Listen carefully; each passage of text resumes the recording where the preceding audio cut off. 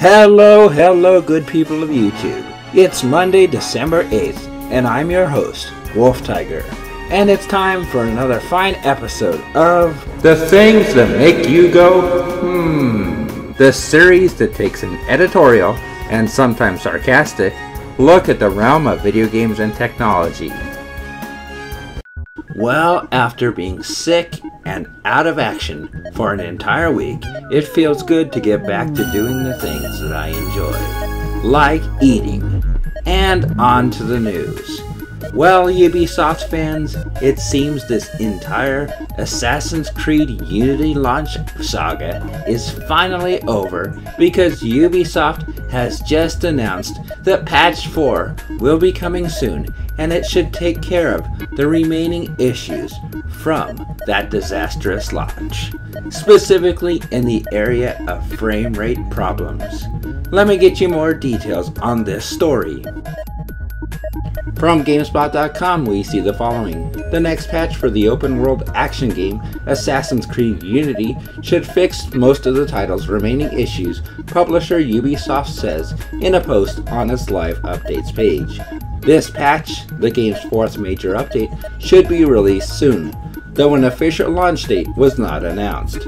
Unity Patch 4 promises to bring improvements to the game's overall frame rate, and it should also fix crashes and clear up issues with the title's companion app. Although the forthcoming patch for Unity should fix up the game's remaining issues, Ubisoft says if you continue to encounter bugs or experience new ones, you should reach out to customer support. Alright, nice job Ubisoft. You actually went out and took care of your responsibilities. There was a serious problem and you actually fixed it. You caused an issue for your customers and you actually took the responsibility to actually fix your problem and listen to your customers. Good job. You get a small hand clap. Well, enough of that. That's just silly. We all have responsibilities to take care of. There's always going to be issues that each of us see in our own lives that we have to take care of on our own. And we don't get a pat on the back and a sticker every time we fix our own problems. If you tip over the trash can and spill a bunch of crap all over the floor, you don't get a sticker for actually getting on your knees and picking up all the stuff you spilled. No, you just clean it up and go about your business.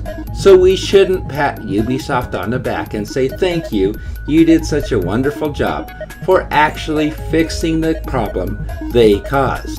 No, if anything, this should serve as a warning to anybody who goes out and buys into the hype trains for those next exciting titles and just has to go pre-order before they've actually seen the game in their hands.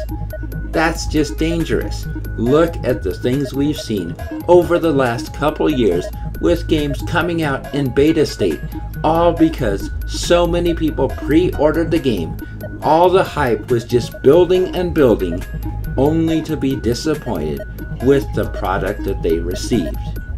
It's not going away, people.